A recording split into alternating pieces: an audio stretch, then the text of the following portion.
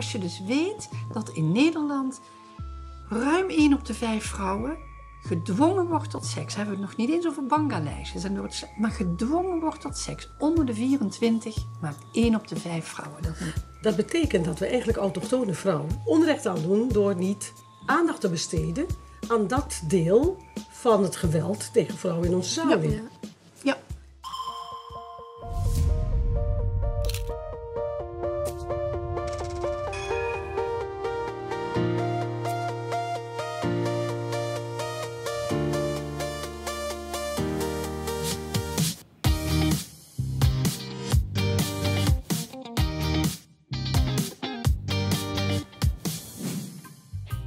In de bibliotheek van Adria Kennisinstituut voor Emancipatie en Vrouwen ontmoet ik Astrid, een feministe puur zang.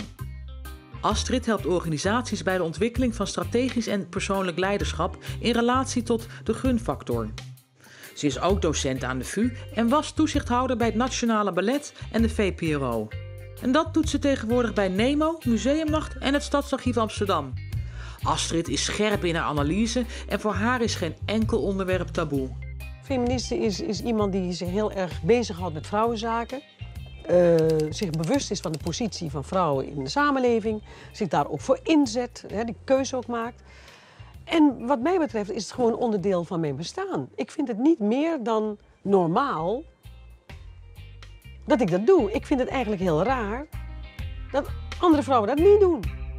Voor Astrid is geen enkel onderwerp taboe.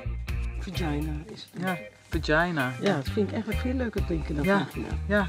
ja. Dat vind ik zo ordinair. Ja, een nieuwe biografie. Ja, ik ben 1817.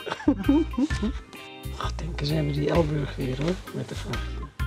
Op de agenda staat vandaag een brainstorm over seksueel geweld tegen vrouwen.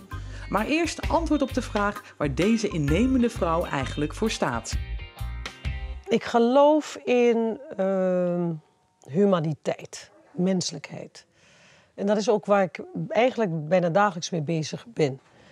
Hoe zorgen we ervoor dat we ons op een hele menselijke en medemenselijke manier tot elkaar verhouden? En dat wil niet zeggen dat ik de wereld wil verbeteren, maar ik vind het in mijn leven heel belangrijk. Waardigheid, menselijke waarde. Zo hier en daar ben ik toezichthouder in organisaties en dan kom ik binnen als uh, onderdeel van het bestuur of als toezicht. En dan loop ik risico dat een nieuwe receptioniste denkt dat ik uh, kom schoonmaken. Weet je, dat soort dingen maken we allemaal mee. Dat we zeggen, als je zwart bent, weet je dat het gebeurt. En het is schokkend, maar het werkt zo. En dan is de vraag, hoe ga je ermee om? Als ik gewoon naar jou kijk, met al je allure dat je ergens ja. binnenkomt... Ja. dan kan ik me niet voorstellen dat dan een receptioniste denkt... dat jij daar als schoonmaakster komt werken. Ik heb zelfs gehad als ik, uh, en ik ga geen namen noemen van de organisaties waar ik zit. En dan, dan was ik ergens en dan vertelde ik wat voor elke positie ik daarin nam. En dan keken mensen me aan en zeiden ze, meen je dat nou? Ben je echt in die positie? Ik zeg ja. Maar mensen geloven dus niet als je uh, doet wat je doet. Uh, en zwart je, bent. Ja, dat je op dat niveau functioneert. Dat, dat, dat, ja, ik kan me erover opvinden. Of ik kan me erop voorbereiden. En op, erop bedacht zijn en weten hoe ik moet handelen. Hoe handel je dan? Uh, omdat ik er dus vanuit ga dat het kan gebeuren. Dus als het niet gebeurt, denk ik, nou, viel me heel erg mee. En het is vaak zo. En als het gebeurt, dan kan ik heel licht corrigerend uh, optreden. Wat zeg je dan? Uh, ja, dat had je niet gedacht, hè. Soms maak ik er een grapje van. Soms uh, vertel ik dat ze zich vergist hebben. Ja, ik denk dat je je vergist. En op dat moment blijf ik dan toch in die verbinding. Maar ik ben degene die uh, de correctie moet aanbrengen. Al op jonge leeftijd wordt Astrid geconfronteerd met een gebeurtenis die ze nooit zal vergeten. Deze gebeurtenis heeft haar voor een heel groot deel gevormd. Ik ben opgegroeid in Suriname, geboren en opgegroeid in Suriname. En ik woonde in een wijk waar er, uh, dat noemen ze dan arme mensen. En mensen de middenklasse en rijke mensen woonden. Zoals het vaak in die landen is, dan heb je soort van mengelmoes. En op school zat ik dus met al die kinderen uh, in de klas. En ik herinner me dat ik een keer met een van die kinderen wilde spelen. Want je gaat daar heel ochtends, ochtends vroeg naar school en smiddags ben je vrij. En ik stond aan haar poort van een heel groot huis. Ik stond dat te roepen en ik zag dat haar moeder uit het raam keek en mij voor de poort zag staan. En het meisje werd naar binnen geroepen, want ze mocht niet met me spelen. En ik herinner mij dat ik dacht, als ik later groot ben, ga ik het anders doen. Als ik later groot ben en ik sta aan de andere kant van die poort, dan doe ik hem wel open. Dat was voor jou de eerste keer in je leven dat je het gevoel van uitsluiting Ja, kreeg? ja, en met de kennis van nu. Wat heeft ervoor gezorgd dat je bent geworden wie je bent? En als ik dan de weg terugvolg, dan is dat een van de eerste herinneringen. eh, Dat ik dat gevoel eh, had. En dat ik dacht, maar dat wil ik helemaal niet. Ik wil het anders doen. Wat was het voor soort gevoel? Ehm, nou ja, in ieder geval een gevoel van teleurstelling. En weten dat mensen jou zien, maar dat ze besluiten dat je er niet bij hoort. Dus het is, het is, het is, geen, het is niet onbewust. Het is een bewuste keuze van mensen om te zeggen: jij mag niet meespelen. Ah.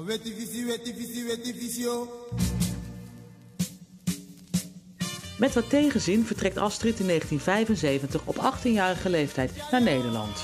Het had voor mij niet gehoeven, maar ik ging gewoon mee met het gezin en kwam in Groningen terecht met eh, de familie eh, waar ik in geboren ben. Hoe was dat, die overgang vervolgens? Ik vond het niet makkelijk.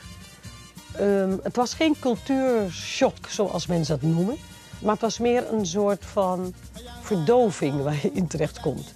Je balans weer vinden, balans met de familie, maar ook met die buitenwereld die compleet anders is. We kwamen in een, een arbeiderswijk, de Indische buurt, waar later ook rellen zijn geweest. Kwamen we terecht. Het was op zich een hele gewone, hele gewone wijk met gewone Nederlanders en wat migranten. En vooral wat ik me herinner, Molukkers.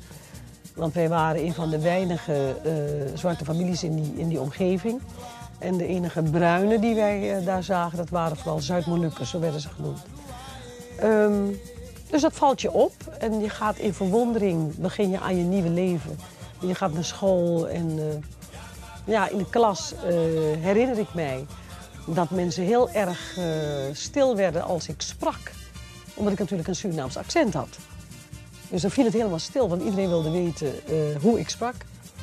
Eh, dat is wat ik me herinner. En voor de rest, eh, Er is weinig van over van het Surinaamse accent. ja, is weinig van over. Dat, dat heet inburgering. dat heet inburgering. Ja, zo gaan die dingen. Zo gaan die dingen. Goed en wel ingeburgerd is het multiculturele drama, voor zover die bestaat, totaal aan Astrid Elburg voorbij gegaan. Na wat omzwervingen komt Astrid in Amsterdam terecht. Het was echt op adem komen. Echt adem. Ik kwam hier en ik dacht, ha, hier kan ik zijn wie ik ben. Want die grote bekken, die, dat matchte wel. Eh, en de energie, want dat moet je ook hebben, hoge energie. Hoe oud was je toen? Ehm, begin 20, ik denk 21, 22. En ik wist, hier gaat mijn leven, hier begin ik te leven. Ehm, Je kwam in de Bijlmer terecht. ik kwam, ehm, ja, rechtstreeks. Oh, wel. Rechtstreeks, ja, ja klopt. eh, in de Belmer terecht. Waar ik het eh, geweldig vond. Ik kwam natuurlijk uit die complete witte wereld terecht. In Groningen. Toen in de Belmer terecht. En ook dat gaf mij het gevoel van... Ah, hier wordt een keertje niet naar me gekeken. Dat eh, hebben ze ooit aan Jan Smit gevraagd, van hoe hij ermee omgaat. En hij zegt, ik was al heel klein toen iedereen al naar me keek. Dus ik ben eraan gewend. Maar heel veel mensen hebben hier problemen mee. Nou, als je dus anders bent in een groep... en iedereen kijkt altijd naar je omdat je afwijkt... dan voel je heel erg beperkt. Want je kan niks doen of ze weten het. Nou, kwam ik hier in Amsterdam. Nou, er ging een wereld voor me open. De Belmer. Niemand keek naar me. Het was heerlijk. Kon helemaal mezelf zijn. En doen wat ik wilde. Dus dat gaf me de vrijheid om te worden wie ik, wie ik ben. Ze wordt assistent van de wethouder van Sociale Zaken. Maar Astrid wil meer. Ze ontwikkelt zich tot consultant op het gebied van sociaal-maatschappelijke issues. Seksueel geweld is zo'n thema die bij haar en kenniscentrum Atria hoog op de agenda staat. Dat je minderwaardig bent, dat je seksueel beschikbaar moet zijn, dat je een seksueel object bent. Dat je daar dus je agressie op mag richten. Dat zie je dus wereldwijd, dat vrouwen en meisjes een, een doelwit zijn van mannelijke lust en agressie. Wat wij dan vaak uit het oog verliezen, dat hier gaat om mensenrechten. Klopt. Waarom gaat iedereen protesteren als er in Keulen massaal aanrandingen plaatsvindt? terecht. Want dat Ja, is natuurlijk terecht, ja. terecht ontoelaatbaar. En waarom is het stil als groepsaanrandingen op bierfeesten Ja. in Alkmaar en weet ik waar in Nederland? Die zijn aan iets kleinere schaal. Dat zijn groepsaanrandingen. Een heel stel mannen die een heel stel vrouwen collectief aanranden. Witte jongens, die witte meisjes die, die serveerden, bier serveerden op dat Oktoberfest, en groep hebben eh, aangerand. Hebben we daar ooit iets over in de media gehoord? Nou, nu? Ja, nu, nu gaan we dat horen.